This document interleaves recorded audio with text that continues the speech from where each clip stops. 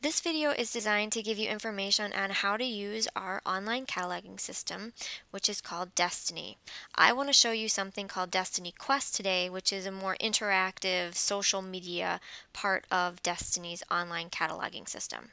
The easiest way to go ahead and access this is to get to O'Neill's webpage and then click on the LRC button. Once our my homepage, the LRC page comes up, go ahead and click on O'Neill's online catalog, which is called Destiny, and it'll take you right to the portion that is called Destiny Quest. Now I wanted to share Destiny Quest with you because it has a lot of interesting features in it. The first thing you're going to want to do, as it says right here, it says hello guest. So right now you're not going to have access to any of the social media components that I think are going to be very interesting for you to utilize you need to log in. So every time you use Destiny, I would suggest that you log in because it will give you access to all of the things that you have been saving. So you're going to click login and then you're going to log in the same way you do to any of our products now in District 58 with your username and password. Now I've created a fictitious student whose name is Saffron Squires just to give you an idea of what is in, in the catalog. So as you can see here, it's going to look a little different than what you're used to seeing with a, with a catalog. This area right here is where you can make recommendations, where you can keep lists for yourself. It has lots of components to it, and this is part of what's called My Quest. So as you see over here, My Quest has shelves, one that says have read, now reading, want to read, and then there's something else here that's called My List. Let's say that you are interested in a book that I have recently book talked. Let's say it's Darkest Corner. This is coming up showing me that this book is currently in. So I'm going to click on that book. Now, if I decide that I want to put this book on a shelf, you have a couple of options. You could say that you have read this book and I could put it on my have read shelf. And if you noticed over here, my have read shelf just went up. If I want to add it to my personal list, I could go ahead and click add to list. Let's say you read this book and you really liked it and maybe you want to recommend it to someone. You can click recommend and then you can find anyone who's in our school I'm going to look for Mrs. Horn right now. I can click on that and I could write Mrs. Horn, this is a great book.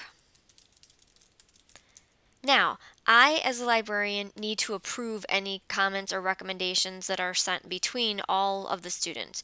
So, obviously, this is a perfect time to practice your digital citizenship skills and make sure that whatever you're saying is appropriate to what it is that you're talking about if you've read this book and you want to add a review, you can click add a review and you have an opportunity to do a regular rating scale with stars and or you can also write a comment in here. Let's say I'm going to rate this. I really like this book, say. So I'm going to click save. Now it's saying that there is a review without a comment, but it gives you some idea. So this is, I really hope that you take advantage of this and really step up and do a lot of reviews because I think it's a, a perfect opportunity. Now, the really awesome part that we have now is for you to have the ability to place your own hold. So let's say I want to place a hold on a book. Anna Dressed in Blood. Let's see. Let's say I'm interested in that book. See how it says out right there? It's telling me it's checked out. But that's okay because if you want, you can go ahead and put a hold on it. You just click on that. It tells you when you've placed a hold on it. If I were to go back in and let's say I didn't remember that I had already placed a hold on this, if you're logged in, you can go back and you can see, oh, wait a minute, I already have a hold placed on this. Now I'm going to go back to my quest because I want to pull up that original screen. Another part that you can get into is this friends part. And this is really nice because if you like to talk about books with your friends, this is a perfect opportunity.